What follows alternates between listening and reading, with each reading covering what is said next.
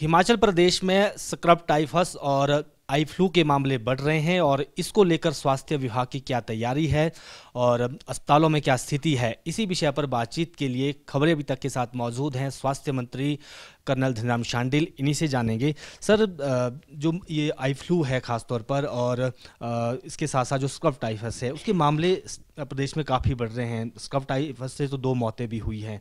किस तरह की तैयारियाँ हैं और ये बढ़े ना, इसको लेकर भी क्या एडवाइजरी स्वास्थ्य विभाग ने दी है? हाँ इस बार की जो ये एक्सेसिव रेंज हुई हैं, बहुत ज़्यादा नुकसान हुआ है और वाटर बोर्न डिज़ीज़ भी बहुत सी देखने को मिली हैं। तो अभी तक हमें आई फ्लू के जो कल तक की शाम तक का फिगर था, वो दो हज़ार सात सौ चालीस केसेस हमारे ध्यान में आए, जिसमें हमीरपुर अलोन के एक सौ साठ थे। धीरे धीरे प्रयास किया जा रहा है कि लोग अपनी पर्सनल हाइजीन और इसके लिए बताएँ, वो मैं सारे स्टेप आपको बताऊँगा। परंतु इसके अलावा डेंगू का हमारे पास कोई केस नहीं भी तक आया है, लेकिन हेपेटाइटिस जॉन्डिस के पाँच केसेज आए हैं और स्क्रब टाइफस के चौंतीस केसेज आए हैं और टाइफाइड के 59 और डायरिया के 322 केसेज आए हैं। इस प्रकार से ये देखा गया है कि जो हमारी प्राइमरी हेल्थ सेंटर की चेन है श्रृंखला श्रृंखलाबद्ध ऊपर तक के जितने भी स्वास्थ्य संस्थान हैं, सबको निर्देश दिए गए हैं कि अवेयरनेस कैंप्स गाँव के लेवल पर, गाँव के पंचायत लेवल तक बताए जाएँ, जो प्राइमरी हेल्थ सेंटर का हमारा एक एक अच्छा हेल्थ एजुकेटर जाएगा। और इसके साथ ही साथ हमने ये भी कहा है कि जो पढ़े लिखे हमारे प्रधान हैं, वो भी इसमें हमारा हाथ बटाएँगे। ऐसी घड़ी में कि ये चीज़, अब जैसे आई फ्लू है। ये तो पर्सनल हाइजीन के साथ होता है। अपना रुमाल रोज़ धोना चाहिए और एक दूसरे के रुमाल को इस्तेमाल ना करें। बच्चे स्कूल में जाते हैं, उनको अच्छी हेल्थ और हाइजीन सिखाएँ। इसी प्रकार से सब लोग उबले पानी को पिए। तो मैं समझता हूँ कि जैसे डायरिया की और दूसरी केसेज में काफ़ी कमी आएगी। कोई गला सड़े, फल ना खाएँ। और इस प्रकार से ये कुछ खाने में, भोजन में भी अपना ध्यान रखें। और पानी खास कर जिसको इसी बेसिकली पानी से ही ये सारी बीमारियाँ फैलती हैं।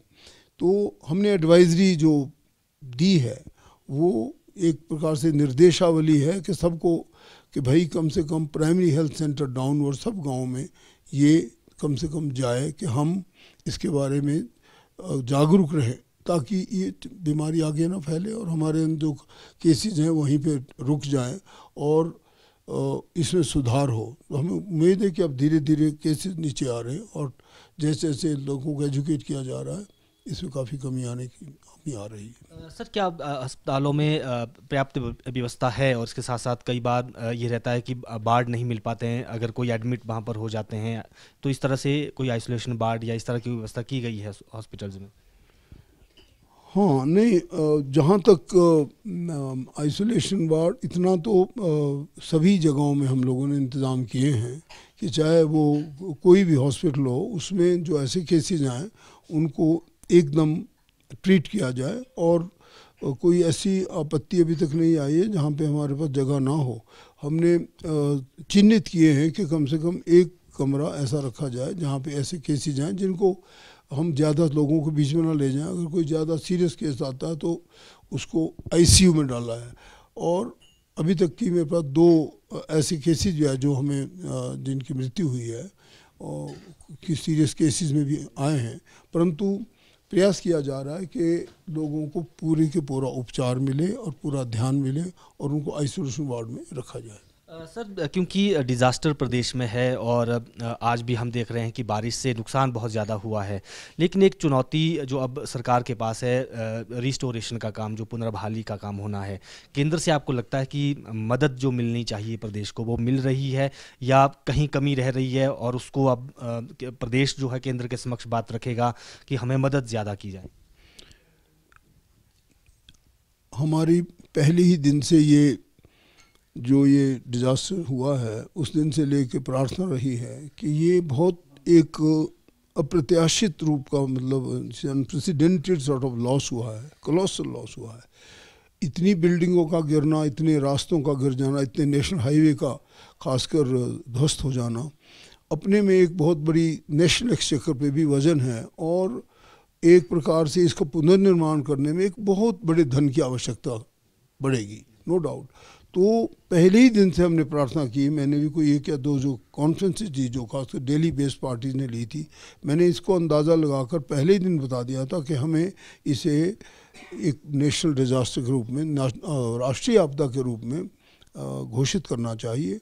हमारी अपने लेवल पे हमारे माननीय मुख्यमंत्री महोदय ने जो स्वयं इन कामों में हमेशा आगे रहे हैं हर राबता घड़ी में रहे जहाँ भी मैं, चाहे वो शिव बॉडी का केस हो, जहाँ इतने जानों को हाथ धोना पड़ा जीवन से, या चाहे हमारे ममलीग पंचायत का हो, सब जगह माननीय मुख्यमंत्री भी गए और महामहिम भी स्वयं गए हैं। और हमने ये बात रखी है, नेशनल के, नेशनल लीडर भी आए यहाँ पे जगप्रकाश नड्डा जी, जो हमारे राष्ट्रीय अध्यक्ष हैं, भारतीय जनता पार्टी के, हमारे अनुराग ठाकुर जी भी आए, जो केंद्रीय मंत्री हैं, और सब लोगों ने आश्वासन दिया है कि यहाँ की मैग्नीट्यूड को देखकर इसको एक ऐसे लेवल से सहायता मिलना अनिवार्य है।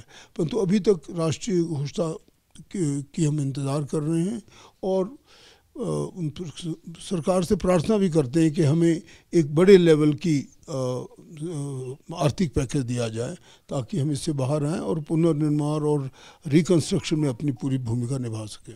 सर जो परवाणु से शिमला का नेशनल हाईवे है, वो इस बार काफ़ी अवरुद्ध हुआ है, इस बरसात की वजह से जो डिज़ास्टर हुआ है। लेकिन कई बार सवाल उठते हैं कि कटिंग ठीक से नहीं हुई और चीज़ें रही। आप क्योंकि खुद सोलन ज़िला से भी ताल्लुक़ रखते हैं तो आपको क्या लगता है कि कहाँ कमियाँ रही और अब सुधार की क्या गुंजाइश है? एक बड़ा हिस्सा नेशनल हाईवे का मेरे अपने निर्वाचन क्षेत्र से गुजरता है, सोलन निर्वाचन क्षेत्र से, और नो डाउट कि कहीं ना कहीं ये कमी ज़रूर रही है कि इसे वैज्ञानिक रूप से आरंभ नहीं किया गया।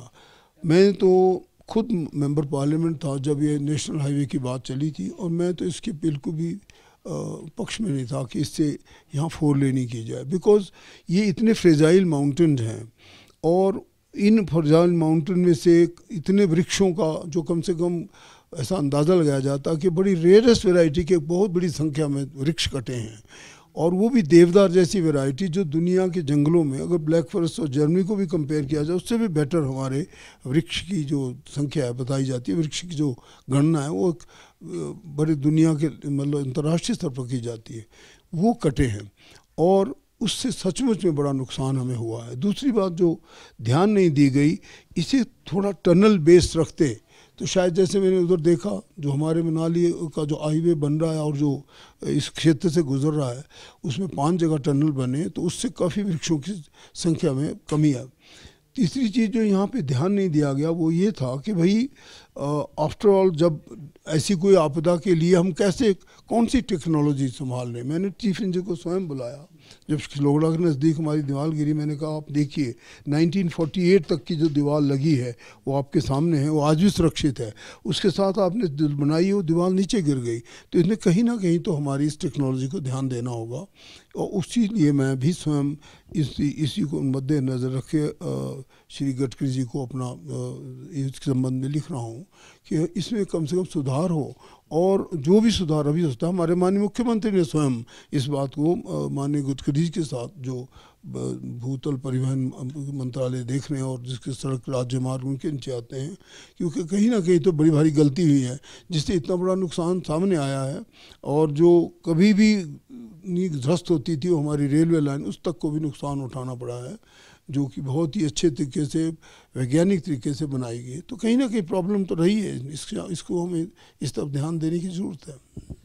बिल्कुल स्वास्थ्य मंत्री डॉक्टर कर्नल धनराम शांडिल इस वक्त खबरें अभी तक के साथ थे और इन्होंने कहा कि जो प्रदेश में स्क्रब टाइफस और बाकी जो जल जनित रोग हैं, उसको लेकर एडवाइजरी जारी की गई है। ग्रामीण स्तर तक जो ग्राम की पंचायतें हैं, उन तक ये एडवाइजरी पहुंचाई गई है और इसके साथ साथ जो प्राकृतिक आपदा से इस बार नुकसान हुआ है प्रदेश को, उसमें राष्ट्रीय आपदा केंद्र को इसे घोषित किया जाना चाहिए, ये इनकी तरफ़ से मांग की गई है और जो नेशनल हाईवे ध्वस्त हुए हैं उसका वैज्ञानिक तरीके से निर्माण हो, इसको लेकर केंद्रीय मंत्री नितिन गडकरी को पत्र भी लिखेंगे। वीडियो जर्नलिस्ट अंकुर के साथ प्रदीप ठाकुर, शिमला।